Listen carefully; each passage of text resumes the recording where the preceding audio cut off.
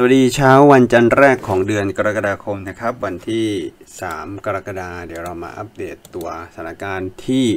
ปิดไปของเดือนที่แล้วกันก่อนนะครับ เมื่อปลายเดือนที่แล้วนะฮะเซตก็ดีดกลับตัวกลับมา หลังจากที่เรามองว่าเป็นขาลง ซึ่งผมก็ยังมองว่ามันเป็นขาลงอยู่นะฮะตอนนี้มองว่าเป็นลักษณะของการดีดเพื่อลงต่อเท่านั้นเองอ้าวดูยังไงว่าเป็นการดีดเพื่อลงต่ออะดูชุดนี้ก็ได้ครับ วันที่ 3 เดือน 5 แล้วก็วันที่ 8 เดือน 5 มันก็เปิด ก็บขึ้นมามันเริ่มเหมือนกันนะ เนี่ยเก็บชุดนี้ เดี๋ยวเรามาดองดูนะครับว่ามันกี่จุด ตรงนี้มันอะไรหนึ่งห้าสามสามตรงนี้หนึ่งห้าสี่หนึ่งเกือบสิบจุด มาลองดูตรงนี้บ้างหนึ่งสี่แปดศูนย์ขึ้นมาหนึ่งสี่แปดแปดแปดจุดพอๆกันเลยอะชุดเนี้ยเปิดแก็บขึ้นมาเท่ากัน จากลักษณะนะถ้าเกิดเขาจะไม่ไปนะครับ เขาก็จะมีการพักตัวพักเห็นไหมพักพักพักหมดแล้ว แล้วก็ โดนแดงยาวทิ้งลงมาก็จบเกมเลยนะครับ เพราะฉะนั้นชุดนี้ก็ถ้าเกิดหน้าตาเดียวกันก็จำตรงนี้ไว้เลยครับนี่ pattern โซนนี้นะ หรือ pattern โซนนี้ก็ได้หน้าตาเหมือนกัน พักพักพักพักพักพักพักออกข้างมีแทงบนแทงล่างแล้วก็ร่วงลงนะครับ เพราะฉะนั้นทรงเดียวที่จะไปต่ออะบอกเลยแต่ว่าผมผมคิดว่าเกิดขึ้นยากนะฮะทรงเดียวที่จะไปต่อจะเป็นทรงลักษณะอย่างนี้ เปิดแก็บแล้วก็เปิดแก็บแล้วก็เปิดแก็บ เนี่ยแล้วก็เปิดแก็บพักๆต้องมีเปิดแก็บกระโดดขึ้น ทรงเดียวเท่านั้นก็คือทรงแก็บนะครับ แต่ถ้าไม่มีแก็บอีกก็ดันพักออกข้างเกิน 3 วันใช้คำนี้นะ การพักออกข้างเป็นระยะเวลานานที่เกิน 3 วันจะไม่น่าสนใจแล้วนะสำหรับเซตก็ฝากไว้แล้วกันเอาไปติดตามนะครับ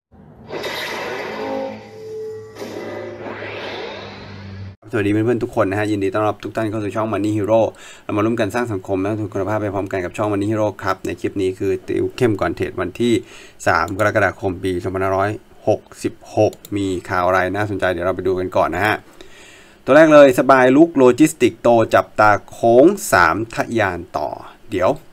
ตัวสบายเนี่ยเขาทำโลจิสติกอยู่แล้วนะฮะเขาไม่ได้เพิ่งจะมารุกโลจิสติกโตอะไรเนี่ยนะ คือรายได้หลักๆ ของเขาส่วนหนึ่งเนี่ย มันมาจากตัวสบายสปีด มีประมาณผมจำไม่ได้แล้ว น่าจะหมื่นสาขาแล้วมั้งในปัจจุบัน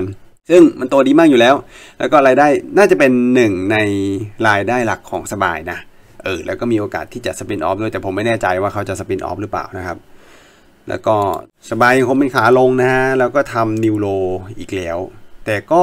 พูดยากครับ เพราะว่าตัวสบายคราวก่อนหน้านี้มันก็ทำนิวโลเหมือนกันอ่านดูชุดนี้นะ ดูดูดูชุดนี้นี่นี่นี่นี่ชุดนี้ ตรงนี้ทำนิวโรแล้วก็เด้งกลับคืนขึ้นมาเลย เพราะฉะนั้นพูดยากครับเพราะเป็นแพทเทิร์นที่แบบอะไม่ได้หลุดนิวโรครั้งแรกนะ เอาตรงนี้ก็ได้ฮะ14เดือน12เนี่ยหลุด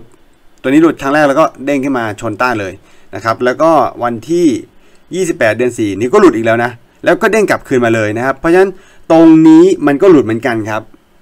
เป็นการหลุดที่สามารถที่จะดีดกลับคืนขึ้นมาได้เลย แล้วก็ผมให้แนวต้าน สำหรับกรอบนี้นะที่ 12 บาทสับรออยู่ที่ 7.95 นะฮะ OI จับมือเอเชียนเหรอ เดี๋ยว OI กับเอเชียนเหรอฮะ มันมีส่วนไหนที่เกี่ยวข้องกันเขย่าเขาใหญ่สีราชาสนัน ORI เอเชียนเครือ ORI จับมือเอเชียน ร่วมลงทุนธุรกิจโรงแรม และพัฒนาสังหาริมทรัพย์ เฮ้ย จริงดิ เอเชียนเนี่ยเขา เขาไม่ถนัดเรื่องนี้นะ มันมันใช่หุ้นเอเชียนไหม แต่เขาแฮชแท็กมาอย่างเงี้ยผมคิดว่าใช่นะฮะ เอเชียนเนี่ยเขาเขาถนัดปลากระป๋องปะอะใช่ไหมทูน่ากระป๋องอะไรอย่างงี้ปะเขาไม่น่าจะถนัดธุรกิจโรงแรมเว้ยอันนี้ อันนี้ผมผมไม่รู้เหมือนกันนะ ถ้ามีผลกระทบผมไม่คิดว่าเป็นเชิงบวกนะ อะ เรามาดูที่ ORI ก่อนนะครับ OI มีเขียวสวนก็น่าจะเขียวตามเซต ตรงนี้ไม่มีอะไรนี่มาหลุดโลด้วยนะครับ เพราะฉะนั้นมองลงต่อนะแนวรับอยู่ที่ 9.5 ส่วนเอเชียน เอเชียนเนี่ย โอ้โห เละเทะนะฮะ น่าจะยังลงต่อได้ครับ แนวรับถัดไปก็อยู่ประมาณ 7 บาทครับรอยฟ้าต้นทุนลด B กลิม GPSC เด้ง เขาบอกว่าจับตากลุ่มโรงไฟฟ้าไตรมาส2ทับ66 โชว์ผลงาน แรงต้นทุนก๊าซธรรมชาติลด ครึ่งปีหลังงบน่าจะดีกว่าครึ่งปีแรกแม้ FT จะลดลงแต่กระทบเล็กน้อย ขณะที่กำลังผลิตเพิ่มขึ้นชูบีกิมคาดกำไรไตรมาส2ทับ6อยู่ที่ อันนี้เฉพาะกำไรนะ 600 ล้านบาทเป้า 50 บาทครับ ไปดูที่บีกิมก่อน เป้าฮะโอ้เป้า 50 บาทใกล้ไปนะครับ ส่วนตัวคิดว่าประมาณ 38 ก็รู้แล้วเพราะว่าชุดเนี้ย ชุดนี้เลยนะ มันเป็นไซด์เวดาว เพราะฉะนั้นอย่างเก่งก็เอาให้มาชนต้านต้านตัวนี้ก็ 38 บาทกว่าๆนิดๆแต่ผมคิดว่าไม่ถึงนะฮะ ก็น่าจะได้อยู่สัก 37 แล้วก็ลงต่อนะครับ เพราะโมเมนตัมมันยังเป็นขาลง ส่วน GPSC อืมเละเลยนะครับ จะมีอะไรมาเด้งได้บ้างเนี่ย มีแนวรับโซนนี้ 50 บาท ที่เขาบอก 50 นี่ หมายถึงเป้าเป้าลง GPSC เป้าวะ ไม่ใช่บีกิม อ๋อล้อเล่นล้อเล่นนะฮะชุดนี้นะครับยังคงเป็นขาลงอยู่ GPC ถ้าเกิดเด้งได้ผมคิดว่าไม่เกิน 60 บาท แต่คิดคิดว่านะ ไม่เด้งนะฮะมีอะไรอีก JPT ไก่เล็กนะครับคำสั่งซื้อมาเพียบเฮบาทอ่อนช่วงไฮซีซั่นขายออกนอกใช่ไหมเพราะฉะนั้น GPC CPF อย่างเงี้ยที่มันไปขายต่างประเทศเยอะๆตอนนี้บาท 35เลยใช่ไหม35 บาทต่อ1ดอลลาร์นะครับ บอกบาทอ่อนช่วงไฮซีซั่นแต่ผมไม่รู้ว่าเขามีการตรึงค่าเงินหรือเปล่านะ ถ้าเกิดมีแต่การตรึงค่าเงินตรงนี้ก็ไม่ได้รับผลกระทบเชิงบวกนะ มาดูกันนะครับ GFPT โอ้แต่ละตัวมันชื่อคล้ายกันนะโอ้ย อันนี้สวยเลย โอ้เดี๋ยวนะเดี๋ยวนะ ฐานการกลับตัวของเขามันกับอ๋ออันนี้สวยจริง ๆ นะครับ แต่ว่าอยากจะให้ระมัดระวังนิดนึงนะ เพราะว่าการกลับตัวของ GFPT จะพูดผิดอยู่เรื่อยเลยนะครับ ไก่เล็กเนาะ GPT เนี่ยจะไม่กลับตัวในลักษณะอย่างนี้ เวลาการกลับตัวมันจะกลับตัวแบบขึ้นสุดลงสุดนะครับมันเป็นเป็นเป็นหุ้นลักษณะทรง A นะครับ เพราะฉะนั้นถ้ารอย่อได้ก็รอย่อนะครับแนวรับอยู่ที่ 12 บาท ไม่จำเป็นที่ต้องไล่ราคาก็ได้นะครับ SP ซุ่มดิวธุรกิจใหม่เลงเวียดนาม 200 เมก SSP เป็นไง ไม่ดูนานเหมือนกันนะตอนนี้เหลือ 7 บาท 85 ล่าสุดทำนิวโรยังไม่น่าสนใจนะครับ น่าจะหลุด ลงไปแล้วก็ไหลลงไปต่อนะครับยูเข้มเสกคลังสินค้ารับ EEC ซุ่มดิวร่วมทุนพันธมิตรนอก พันธมิตรนอกคือใครนะยูเข้มโชว์เงินสดเต็มมือฮะเรา600ล้านเนรมิตคลังสินค้ารองรับการขยายธุรกิจรถไฟฟ้าโซน EC โอ้ผมคิดว่าอีกนานไหมเออน่าจะอีกนานนะ กว่าโอ้กว่าขนาดนี้นะฮะก็เอาแค่แบบ ทำรถไฟฟ้าในกรุงเทพสายนั่นสายนี่ใช้เวลาตั้งเท่าไหร่ถูกต้องไหมอย่างดอนเมืองสายสีแดงเนี่ยใช้เวลาตั้งกี่ปี เพราะฉะนั้นตัวนี้ผมคิดว่า ถ้ามาเพราะข่าวรถไฟฟ้าโซน EEC นะ ยากนะครับมาเรามาดูที่ยูเคมโอ้โหเนี่ยยากยากหน้าก็ยากและลักษณะอย่างนี้นะฮะ ไหลลงต่อครับแนวรับอยู่ที่ 70 ตังค์แค่นั้นเองนะครับ BBIK อัพเป้ารายได้โต 120% 120%เลยนะ แย้มครึ่งปีหลังปิดดิวใหม่บูบิกนะหรือว่า BBIK เนี่ยปรับเป้ารายได้ ปี2566 ใหม่ โตไม่ต่ำกว่า 120%ยืน เหนือ 1.2 พันล้านบาท พร้อมปั๊มรายได้ทะลุ 2,000 ล้านภายในปี2568เออนี่น่าสนใจนะ ถ้าเกิดให้เป้ายาวๆอย่างนี้นะ น่าสนใจนะ อีก 2 ปีนะเขาบอกว่ารายได้นี่เฉพาะรายได้นะ ทะลุ 2,000 ล้านนะครับ เล็งย้ายเข้าเซต โอ้มีสตอรี่ดีมากเลยครับฝากผู้บริหารวาง 4 กลยุทธ์สำคัญขับเคลื่อนธุรกิจแย้ม ครึ่งปีหลังจอปิดดิวร่วมทุนพันธมิตรอย่างน้อย 1 ดิวอะมาดูครับ BBAK เท่าที่อ่านข่าวมาผมว่าข่าวนี้ดูดีนะดูดี แล้วก็ทรงนี้มันกลับตัวแล้วนะเพราะฉะนั้นแนวต้านที่ใกล้สุดผมให้ที่ 120 บาท ก่อนที่ไปถึง 143 อีกรอบนะครับ CSZ ลุยชิงงานอื้อ อัพงบ ชน 3,000 ล้านนะ ดูสิ CSZ จะทรงไหมทำฐานกำลังทำฐานอยู่นะครับ สต็อปลอสอยู่ที่ 3.3 ยังไม่มีจุดเล่น มาดูที่ข่าวหุ้นนะ PTEP ปั๊มก๊าซเอราวันสิ้นปี 600 ล้าน ลูกบาทฟุต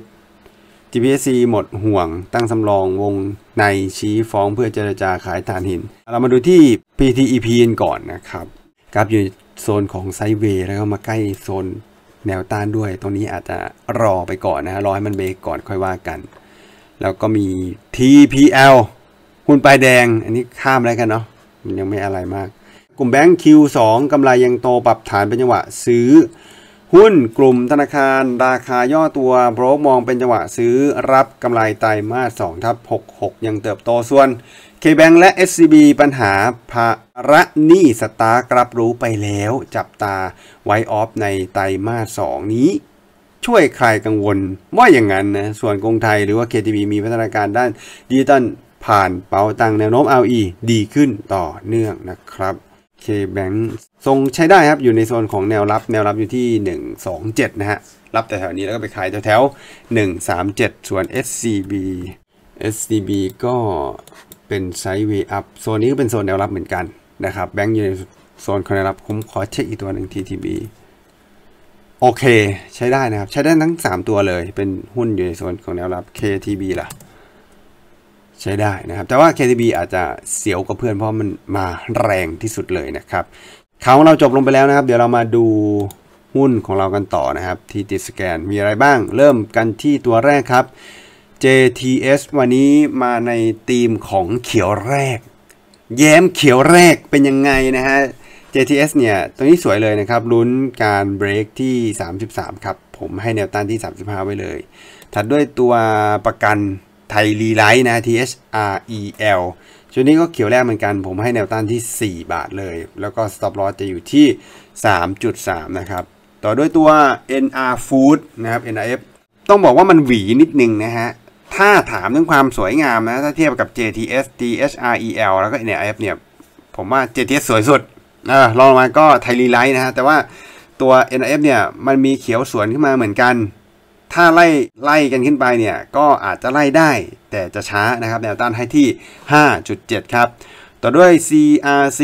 Central Retail นะครับชุดนี้เป็นเขียวแรกเหมือนกันให้แนวต้านไม่เกิน 41.50 ครับ ก็มองไว้ที่สัก 40.75 ก็ได้ครับ ต่อด้วยตัว AIE อันนี้เขียวแรกแนวต้านไม่เกิน 1.5 นะฮะใกล้ๆก็พอแล้วก็บูบิกอันนี้ดูไปแล้วเนาะสวยเหมือนกันนะตัวนี้แนวต้าน 120 OI ก็ดูไปแล้วเนาะเออผมเลือกหุ้นมาซ้ำนะฮะแนวต้านอยู่ที่ 11 บาท แต่คิดว่าไม่ถึงนะครับสำหรับ OI ก็น่าจะทรงแบบแถวๆนี้11 บวกลบนิดหน่อยนะฮะต่อด้วยตัว Human Human ไม่ได้คุยกันมานานมากนะครับ ตรงนี้เนี่ยมันเป็นขาลงแล้วเนาะหลังจากที่หลุดในกรอบไซเวย์แล้วก็ลงมายาวเลย มาเจอที่ประมาณ 8 บาท 50 แล้วก็มีการดีดตัวกลับ ซึ่งแนวต้านให้แค่ 10 บาทเท่านั้นนะครับ ต่อด้วยตัว AS AS ตรงนี้แรงดีใช้ได้นะครับ แนวต้านผมให้ 13 บาท แล้วก็ CPN CPN นี่เหมือนกับ Central Retail เลยหน้าตาคล้ายกันนะ แนวต้าน 68 บาทครับ CHG นะครับตัวนี้สวย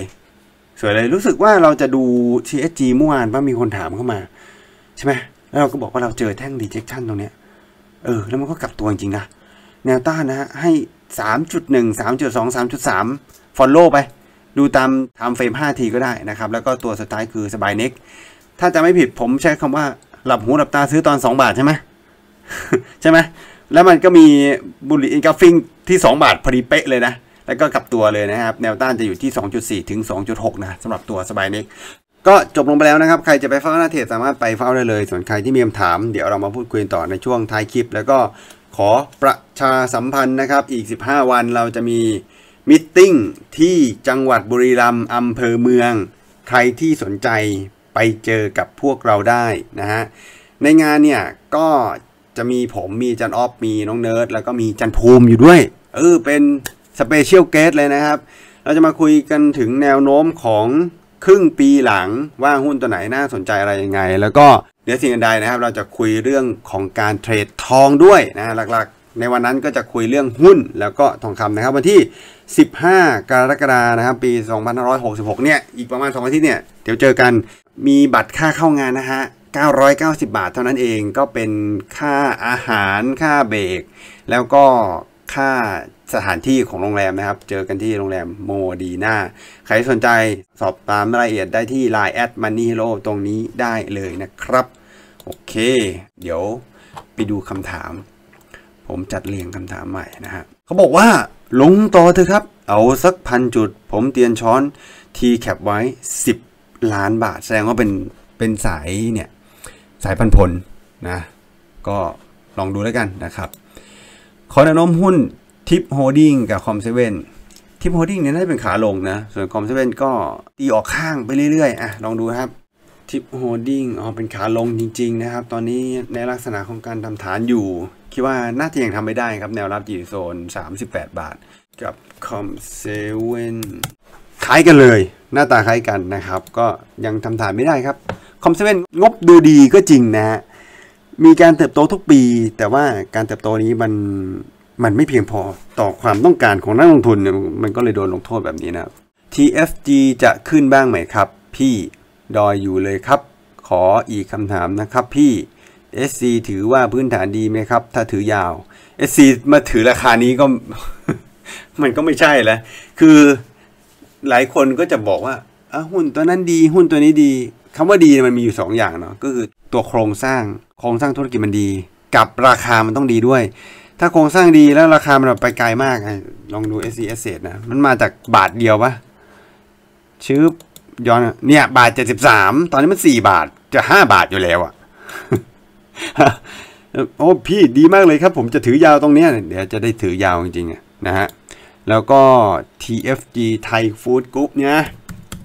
มันจะขึ้นบ้างไหมเหรอคำถามใช่ไหมดอยอยู่เลยครับ แต่เขาไม่ได้บอกว่าจะดอยตรงไหนจะขึ้นบ้างไหมนี่ตอบได้เลยว่าไม่นะฮะเพราะว่ามันเป็นขาลงที่แรงมาก แต่ใกล้แนวรับได้ละ แนวรับมันสามสามจุดเจ็ดก็ใกล้มากแล้วนะครับ แต่ตอนนี้ยังโอ้โห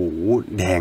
แดงสวนแรงมากนะฮะพร้อมกับแรงขายจำนวน 28 ล้านหุ้นเนี่ยไม่ธรรมดา ผมคิดว่าแนวรับก็แถวนี้แหละฮะ3.7เจ็ดเอเชียนพอจะเด้งสั้นๆ 9 บาทไหวไหมคะจันพืชพอดีเห็นเขียวแรก แต่วันก่อนเห็นเขาเคลียร์บนตรง 8.5 เดี๋ยวมันจะเคลียร์บนได้ยังไง มันเป็นขาลงนะฮะอลองดูดูก่อนนะว่าเป็นยังไงตรง 8.5 นะ เอเชียนฟึบ ไหน นี่เหรอเคลียร์บนเดี๋ยวอีแท่งนี้แท่งเดียวมันอาจจะกดผิดก็ได้มันอาจจะคีย์ผิดก็ได้ อย่างนี้เราไม่มองมันเป็นการเคลียร์อะไรเลยนะนะฮะมันยืนไม่ได้นะถ้าเป็นภาษาเนาะอยู่ในโซนของแนวรับ แล้วกลับขึ้นมายืนสัก 8.5แล้วมันยืนไม่ได้มันก็ลงมานะครับคำถามคือมันจะเด้งไปสัก 9 บาทได้ไหม คิดว่ายากแล้วก็เหนื่อยครับ เพราะว่าทางชุดนี้เป็นขาลงผมมอง 7 บาทนะครับสำหรับเอเชียน แนวโน้ม TKS ก็ชัดเจนเนาะมันเป็นขาลงอยู่แล้วนะครับ TKS ยังไม่กลับตัวก็ยังคงเป็นขาลงต่อนะครับ โอ้มีตัวนี้ด้วย BS 13 C 2 3 1 0 A ทุน 18 ตังค์จะไปต่อไหมครับ เวลาวิเคราะห์เนี่ย เราจะต้องวิเคราะห์ตัวแม่มันนะฮะโดยที่เขาซื้อ BS เนาะซื้อเป็นคอคือมองขาขึ้น นี่เราดูตัว BS ไว้ก่อนครับ โอ้จะมามองขาขึ้นโซนนี้ อะใช้ได้นะเพราะมันอยู่ในโซนของแนวรับแถวๆนี้นะ แต่ประเด็นคือเขาซื้อที่ 18 ตังค์ผมไม่รู้ว่ามันมันคือโซนไหน ทีนี้ตัวนี้เนี่ยพยายามอย่าถือเกิน 1 สัปดาห์นะ ไม่งั้นชิบหายแน่ เพราะว่าตัว time decay เนี่ยไม่รู้เท่าไหร่ 18 ตังค์เนี่ยลบทีละ 1 ตังค์เนี่ยก็ โอ้โห ขาดทุนมหาศาลแล้ว เรามาลองดูดิ VS 13 C 2 3 1 0 A ใช่ไหมที่เขาซื้อเขาไปซื้อซีรีส์ไกล เขาซื้อได้ 18 ตังค์โอเคนะครับ แต่พยายามประคับประคองนะอย่าอย่าถือเกิน 3 วัน ถ้ากำไรแล้วอาจจะต้องรีบหนีนะครับ เพราะอะไร เพราะว่าดูจากตัวแม่มัน ถ้าแม่มันหวีสัก 5 วันนี่ก็ตายแล้ว โอเคไหมฮะ SJWD เก็บยาวไม้แรกที่ไหนดีคะเฮ้ย คุณต้องดูก่อนนะว่า คุณชอบตัวธุรกิจหรือเปล่า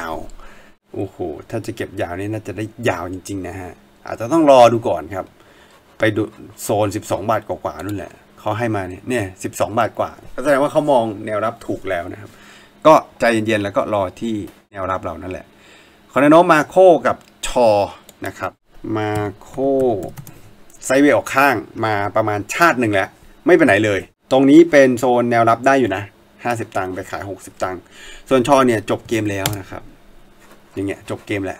ไม่ต้องหาแนวโน้มแล้ว นะฮะโซนนี้ทำฐานก็ทำไม่ได้แล้วก็ลงต่อก็จบเรียบร้อยนะครับเขาบอกว่าอาการปวดหลังดีขึ้นแล้วหรือคะกลับมาอ่านข่าวได้ ดีขึ้นครับ คือ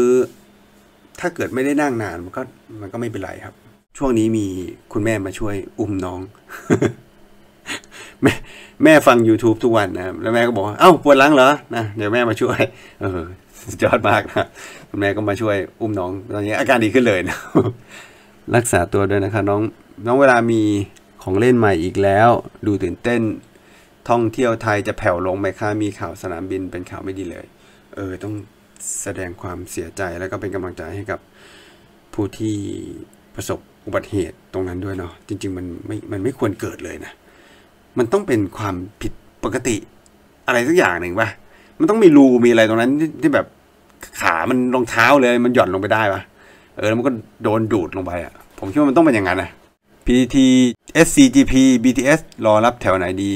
เล่นแต่ตัวใหญ่ๆเลยนะเนี่ยอะมาดูครับ ตัวปตทปตทเนี่ย คือเอามุมมองเซตของผมนะ ที่อัปเดตมาทุกวันเนี่ยผมมองเป็นขาลง เพราะฉะนั้นถ้าเกิดอยากรับจริง ๆ ต้องมารอรับโซนที่มันเป็นขาลงนะให้มันลงต่อนะครับ แต่ตรงเนี้ยถามว่ามันกลับตัวเรียงตัวปตทกลับตัวแล้วนะครับ รงนี้ก็เป็นโซนที่เล่นในระยะสั้นได้ แล้วก็ SCGP Y ไม่ไม่สวยครับ อย่าอย่าไปยุ่งเลยครับ แล้วก็ตัว BTS ก็ไม่น่าจะสวยนะครับอืม เป็นไซเบอร์ออกข้าง สวยสุดคือปตทนะครับ ถ้าจะเล่นก็แถวนี้ก็เล่นได้ครับ ยง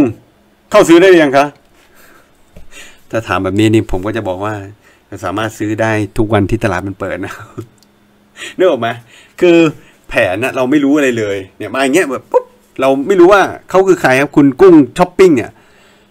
แล้วเขามีนิสัยในการเล่นในระยะสั้น หรือเขากะจะซื้อระยะยาวเขาชอบยงคอนกรีตมากแค่ไหนเนี่ยไม่ไม่รู้ แต่มาแบบยงยงเนี่ยเอาเอายังนี่ใช่ไหม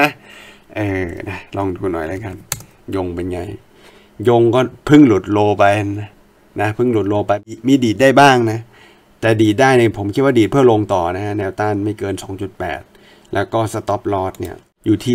2.28 นะครับ จบลงไปแล้วสำหรับในคลิปนี้ขอบคุณทุกคำถามที่ถามกันเข้ามานะครับ แล้วก็อย่าลืมนะฮะใครที่อยากจะดูคลิปพิเศษของเรานะครับ สามารถกดสมัครที่ช่องทางนี้ได้เลย หาปุ่มสมัครไม่เจอนะจริงๆ มันอยู่ใต้คลิปเนี่ยแหละแต่ถ้าหาไม่เจอก็ทักทายกันมาเข้ามาได้นะครับ ที่ Line at Money Hero ครับ ในคลิปพิเศษของเราก็จะมีเป็นการบ้านหุ้นเนาะทุกวันอาทิตย์นะครับ มีคลิปสอนสอนหุ้นอะผมใช้คำว่าคลิปสอนหุ้นเลย มีแทบทุกวันนะครับ สอนดูจังหวะซื้อ สอนดูจังหวะขาย ตัวไหนที่ไม่น่าเล่น เหตุผลว่าทำไมมันถึงไม่น่าเล่น ไม่ควรเข้าไปยุ่งกับตัวไหนอะไรเงี้ย เราก็จะสอนเทคนิคต่างๆ ลงไปในนี้นะครับ แล้วก็จะมีคลิปที่เป็นหุ้น VI ที่เราเลือกมาให้ ก็ใครที่สนใจนะสมัครได้มีค่าใช้จ่ายนะ เดือนละ 300 บาทเท่านั้นเองนะครับ ตกวันละ 10 บาทอะโคตรคุ้มนะฮะต้องบอกเลยว่าโคตรคุ้มสำหรับวันนี้ผมคงต้องขอตัวลาไปก่อนเดี๋ยวเจอใหม่ครั้งหน้าขอบคุณและ สวัสดีครับ บ๊ายบาย